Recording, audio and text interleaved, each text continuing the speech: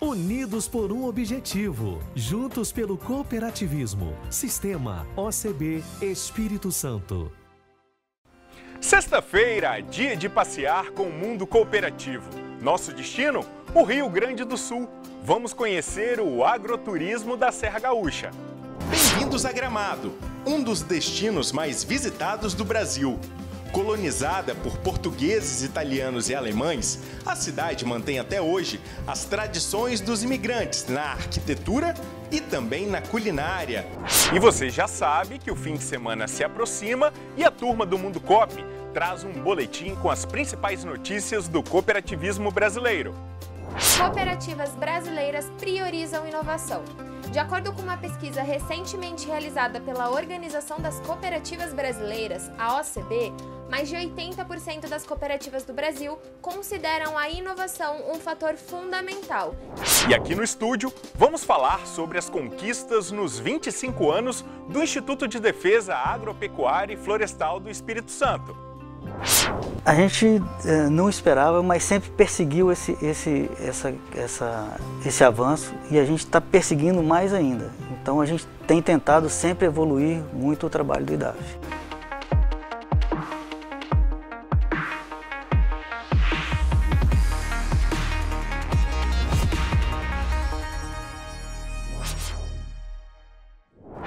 O que foi notícia no cooperativismo brasileiro, você acompanha agora no Boletim Mundo Cop.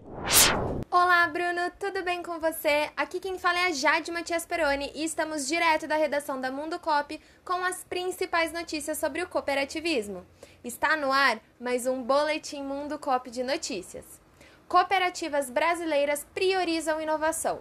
De acordo com uma pesquisa recentemente realizada pela Organização das Cooperativas Brasileiras, a OCB, mais de 80% das cooperativas do Brasil consideram a inovação um fator fundamental e já incluem essa temática em seus planejamentos estratégicos. De acordo com Márcio Lopes de Freitas, presidente da OCB, há muitos investimentos para aumentar a competitividade das cooperativas. E agora, o objetivo é de aumentar os atuais 84% para 100% das cooperativas que têm inovação em seu planejamento. Sucessão na Santa Clara, a grande história por trás da cooperativa. Com legado e tradição, a Santa Clara é a mais antiga cooperativa de laticínios em atividade no Brasil e traz consigo histórias incríveis de quem faz a diferença diariamente no cooperativismo. Recentemente, a cooperativa anunciou a sucessão de sua presidência a um associado que desde os 14 anos integra a equipe da cooperativa. E por isso, a Mundo Cop conheceu a história do novo presidente, Gelsi Tuns, falando sobre suas perspectivas e os atuais desafios. Confira a entrevista completa em nosso site. Cooperativa de Saúde lança projeto para startups. Em busca de conquistar maiores espaços de inovação, a Central Nacional Unimed lançou o Desafio de Inovação Unimed, que tem como objetivo se juntar a startups para criar projetos e soluções para o dia a dia da cooperativa. O projeto conecta Tronco, nova célula de inovação da cooperativa, com startups por meio de plataforma de Open Innovation. E para finalizar, o MAPA e a Universidade Federal de Viçosa, a UFV, oferecem cursos de capacitação em cooperativismo para agricultores familiares. Agricultores familiares interessados na gestão de empreendimentos coletivos já podem realizar a sua pré-inscrição para os cursos de capacitação em associativismo e cooperativismo, lançados pelo Ministério da Agricultura, Pecuária e Abastecimento em parceria com a Universidade Federal de Viçosa. A iniciativa, que é uma estratégia que visa impulsionar o desenvolvimento da agricultura familiar no país, tem os cursos gratuitos e as atividades realizadas de forma virtual. Querem saber sobre essas e outras notícias na íntegra? É só baixar o aplicativo da Mundo Cop e nos seguir nas redes sociais.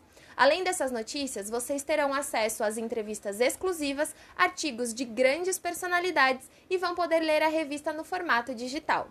Confira também nosso canal no YouTube e a Confraria do Cooperativismo, nosso podcast exclusivo que está disponível no Spotify.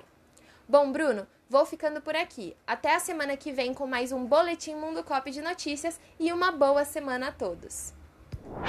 O Instituto de Defesa Agropecuária e Florestal do Espírito Santo está completando 25 anos. Por isso eu recebo aqui no estúdio o Fabiano Graziotti, ele que é diretor técnico do IDAF. Fabiano, bem-vindo. Olá, Bruno. É um prazer participar aqui do programa, é, principalmente nessa data especial, né, 25 anos do IDAF.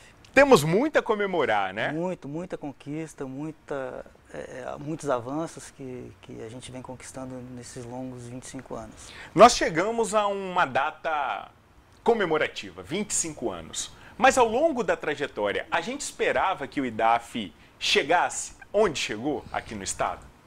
A gente eh, não esperava, mas sempre perseguiu esse, esse, essa, essa, esse avanço e a gente está perseguindo mais ainda. Então a gente tem tentado sempre evoluir muito o trabalho do IDAF.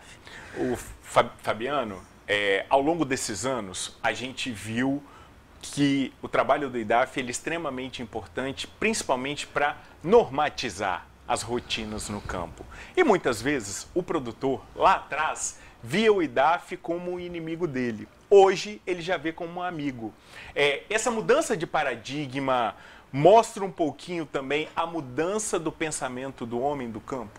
Sim, sim. É, é, a mudança do pensamento do, do homem do campo facilita muito o nosso trabalho e a gente tem sempre seguido as orientações do nosso diretor, do, do, do nosso governador, que é estar junto ao homem do campo não adianta eu ter o homem do campo como inimigo, que nunca vamos avançar. Então a gente é, sempre tem se aproximado do homem do campo, a gente tem feito reuniões, tem chamado o produtor para junto do IDAF para poder orientar o produtor, produtor da melhor forma. E, na sua avaliação, em que momento virou a chave na cabeça do agricultor? Que ele tinha que ver o IDAF como um aliado e não como um inimigo dele? É, Bruno, no momento que ele percebeu que, estando regularizado junto ao IDAF, junto aos órgãos ambientais, ele ganha mercado, ele ganha renda, ele pode comercializar seu produto não só no seu município, mas no estado e até no Brasil. Então está sendo uma parceria. IDAF Produtor Rural hoje é uma parceria que tem gerado bons frutos para o estado do Espírito Santo. Para quem está em casa e não tem muito ideia de como é o trabalho do IDAF, eu queria que você falasse um pouquinho. Quais são as ações do IDAF junto aos agricultores? É, o, o IDAF, ele é um órgão, vamos, vamos dizer assim, quase que único no Brasil. Porque, para a gente ter uma ideia, Minas Gerais, para realizar o trabalho que o IDAF faz, hoje existem cinco órgãos. Então o IDAF faz o trabalho de cinco órgãos em determinados estados. A gente atua na defesa sanitária e inspeção animal, então a gente garante é, saúde pública, é, é, oferece ao, ao consumidor um produto de qualidade, carnes inspecionadas, fiscalização de frigorífico. A gente atua na defesa sanitária animal, é, vegetal, então a gente cuida das doenças do, do mamoeiro, das outras culturas, então a gente garante um produto de qualidade tanto para consumo no estado quanto, quanto para exportação. A gente atua no controle e licenciamento das atividades florestais, então a gente preserva as florestas, a gente orienta o produtor o que, que ele pode fazer, o que, que ele não pode, para não prejudicar o meio ambiente. A gente atua nas terras e cartografias, então a gente atua demarcando as divisas dos municípios, é, regularização fundiária de áreas devolutas e áreas dominiais do Estado. Então a gente tem todo esse trabalho junto ao, aos municípios também. A gente também tem um núcleo de projetos especiais que a gente atua no crédito fundiário para tanto para aquisição de propriedades, para implantação de assentamentos, quanto para produção nessas propriedades. A gente também tem a gerência de agroindústria de pequeno porte, que foi uma gerência criada há pouco mais de dois anos. Ou seja, não dá para se pensar em campo, em agronegócio, sem ter o IDAF sem como parceiro. Sem ter o IDAF, é. Além disso, ainda tem o laboratório de, de análise da qualidade do leite, que a gente credenciou junto ao mapa e também a RBQL. Então hoje a gente pode fazer análise de, do leite, da qualidade do leite de todo o Espírito Santo e até de outros estados. São dos poucos laboratórios públicos no Brasil que fazem isso. Inclusive, a gente teve o privilégio de mostrar um pouquinho esse laboratório aqui no mundo cooperativo e essa foi um pleito e uma conquista das cooperativas das do cooperativas, Espírito é Santo, é importantíssimo, né? a gente vai ter condição total de atender as cooperativas instaladas aqui no Espírito Santo. E recentemente a gente conseguiu uma extensão de escopo do laboratório. Então a gente está fazendo análise dos exames de raiva da, do, da, da, do rebanho do estado e também da anemia infecciosa equídea. Ou seja, lembrar de tudo isso não é fácil, não é fácil. e a atuação é bem abrangente. É, o cooperativismo, como a gente falou, ele tem uma importância muito grande no laboratório de leite, mas ele está envolvido em muitas atividades do IDAF, sim, né? Sim, sim, é, principalmente na questão do crédito fundiário. Então, é, hoje a gente atua com associações que podem vir a ser cooperativas, tanto no crédito fundiário quanto também nas agroindústrias de pequeno porte. Você falou de agroindústria e a agroindústria agora a gente percebe que tem dado um boom aqui no Espírito Santo, porque não adianta somente o produtor produzir lá no campo e não ter uma agregação de valor no produto. Essa agroindustrialização, você vê que ela vem crescendo mesmo ou é só uma percepção minha? E a importância que ela tem para o homem do campo, Fabiano? Não, ela vem crescendo e, ela, e vem crescendo também o número de agroindústrias que têm procurado o IDAF para se regularizar.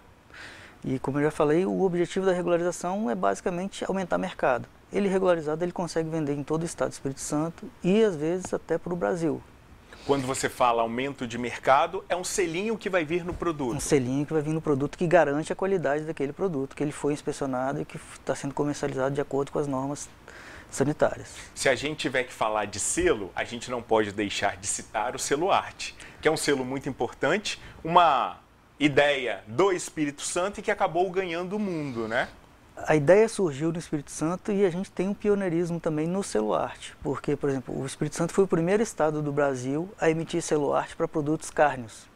Já existia celuarte para queijo, para outros produtos, mas para carnes foi o primeiro estado a emitir, o seu estado do Espírito Santo. Fabiano, e você acredita que esse trabalho do IDAF ele foi importante lá atrás, no início, ele é importante agora, no presente, e ele será importante também no futuro? Sim, com certeza. É, é, a gente tem trabalhado justamente para poder sempre ter a, a frente do, do, do tempo. A gente tem que abrir, abrir mercado, a gente tem que auxiliar o produtor, a gente tem que, que, que estar à frente. Hoje a gente está digitalizando os nossos processos no IDAF. Então a gente já tem sistemas hoje, por exemplo, o CIAPEC, uma, o produtor não precisa o IDAF hoje para emitir uma guia de trânsito animal, ele consegue emitir esse sistema.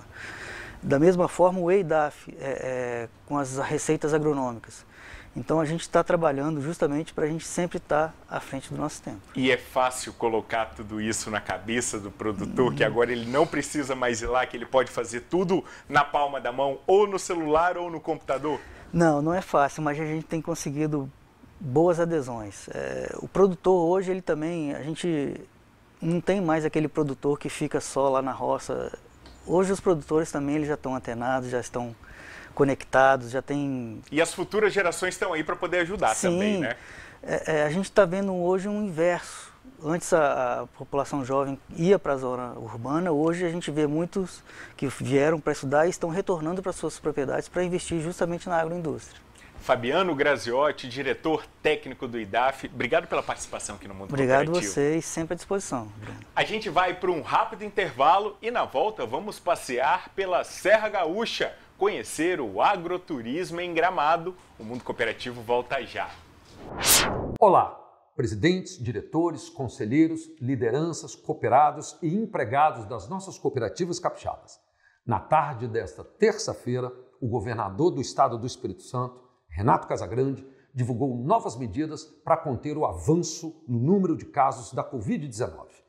Medidas essas que são aplicadas a todos os 78 municípios do nosso estado do Espírito Santo.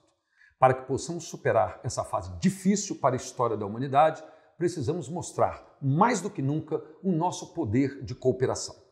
O cooperativismo é e sempre foi um modelo de negócio que foca no desenvolvimento econômico diretamente aliado ao desenvolvimento social. Para nós, as pessoas estão no centro de todas as decisões.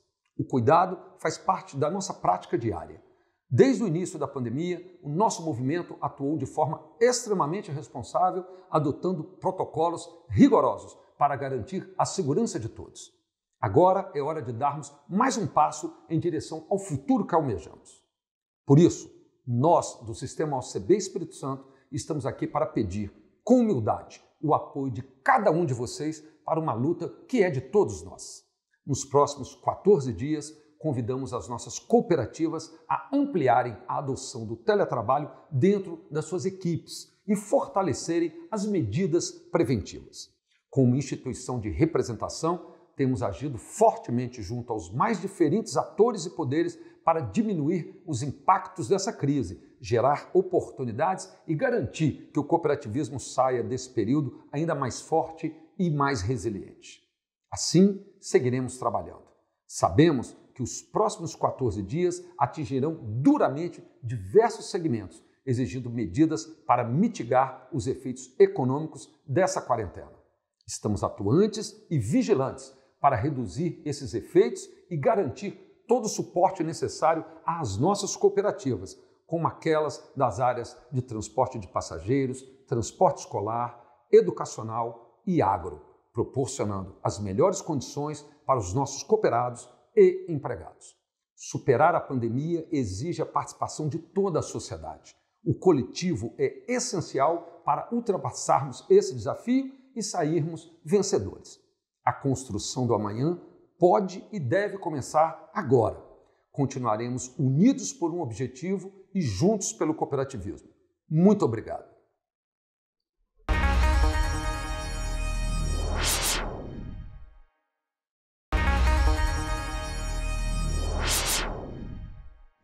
Agora vamos passear no mundo cooperativo, subir a serra do Rio Grande do Sul para conhecer o agroturismo gaúcho.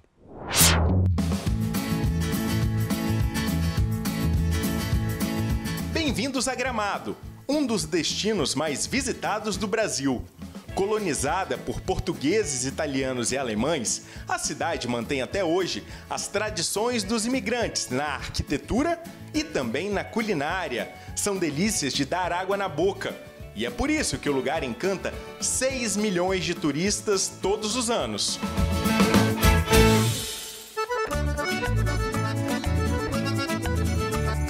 A beleza da Serra Gaúcha não está somente nas cidades, mas também no interior para onde seguimos viagem para conhecer um dos roteiros de agroturismo da região. E lá vamos nós, rumo ao sítio da família Lazarete. Aqui encontramos um belo parreiral e muitos produtos artesanais. Ah, tem o vinho, né, que é o, o caro forte, né, que a gente assim, tem o vinho, tem o suco de uva, tem a graspa, tem umas geleias também que a gente fabrica aí e uns licores também que a gente produz aí. carro-chefe é o vinho produzido como antigamente. É, vem desde vem da pareira, vem para cá, é, é processada a uva aqui mesmo no porão, é passado para essas pipas aí antigas de madeira que eu tenho ainda, que com muito orgulho ainda faço questão de falar que foi meu bisavô que fez e estão aí estão sendo usados ainda e, tão, e vão ser usados para muito tempo ainda. Depois que vem para a pipa, então ela fica em torno de quatro dias aí fermentando com a casca tudo junto. Depois do quarto dia, então, que é a casca separada do líquido. Então a casca não é jogada fora a casca, então ela é guardada em tonéis. Logo após então a colheita, eu vou usar essa casca então para fazer a graspa, que é a bebida que eu faço aí. Aqui a gente chama de graspa, né? Mas no, é conhecida também como grapa. E se é chamada também em Portugal de bagaceira, mas é o mesmo produto, né? Uma bebida destilada da casca da uva. E o vinho, então, já é passado por outra pipa, então só o líquido, e ele vai continuar fermentando. Mas em torno de mais uns 15 a 20 dias ele vai continuar fermentando separado em outra pipa. Ah, parou a fermentação, então daí vem o processo né, de maturação e decantação do vinho. Ah, como aqui é, é, feito bem artesanal, o meu vinho não passa por filtros, nada, ele vai decantando naturalmente. Então, nesse meio tempo, até ele ficar pronto para o consumo, é feita quatro transvasas nele. Ah, é uma maneira da gente limpando o vinho. O vinho, para ficar pronto para o consumo, ele vai demorar em torno de seis meses. Nesse meio tempo aí, eu troco ele pipa quatro vezes. Quatro transvasos feitas nele, até ele maturar e se limpar. É, é, eu vou dizer assim que tem que gostar do que a gente que, que se faz. Ah, é, é, gratificante para mim contar histórias. Ah, claro que às vezes a gente não, não tem aquele estudo para, mas é, gente, eu conto do jeito que, que eu faço aí. Então é muito gratificante contar o, a história que começou com meu bisavô, o avô, né, o pai, né, e E agora chegou a minha vez aí, tomara que um dos meus guris, né, continue, né? Que é uma, é uma pena, né? Senão não, não, não vão dar continuidade daqui, daqui para diante, né? Foi um prazer conhecer um pouquinho da história da família do senhor, seu Newton.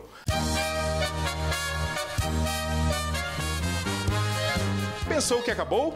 Ainda dá tempo para uma paradinha no café da família Han. Aqui encontramos comida típica e música boa.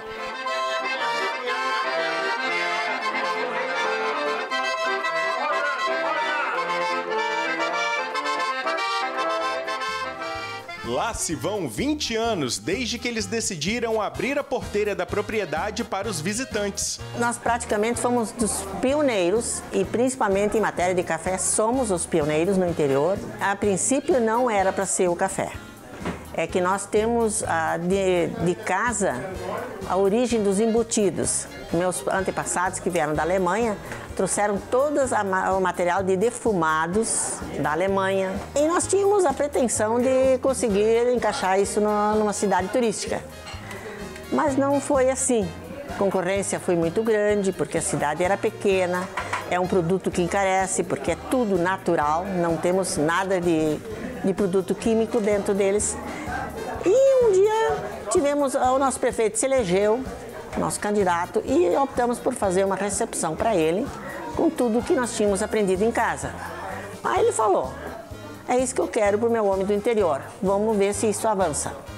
E foi aí que nós avançamos, foi lento, mas foi gratificante e hoje estamos plenamente realizados. Com quase 80 anos, Dona Isolde não se cansa de preparar todas essas delícias para agradar o turista.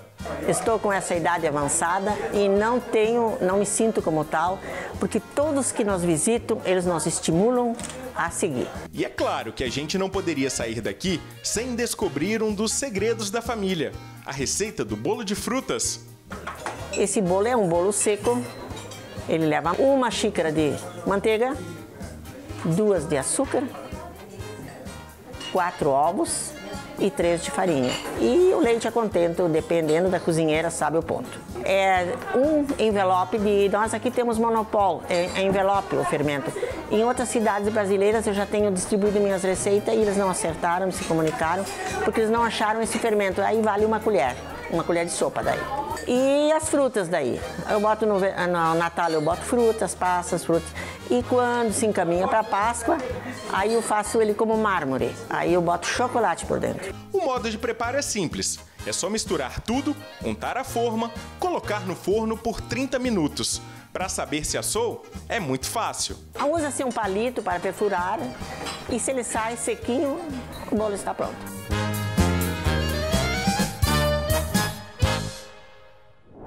Muito legal, não é mesmo? O Mundo Cooperativo de hoje fica por aqui. Eu agradeço demais a sua companhia. Para rever o programa, você já sabe, é só acessar o portal Sem Notícias em sinoticias.com.br. A gente volta a se encontrar numa outra oportunidade. Até lá! Tchau!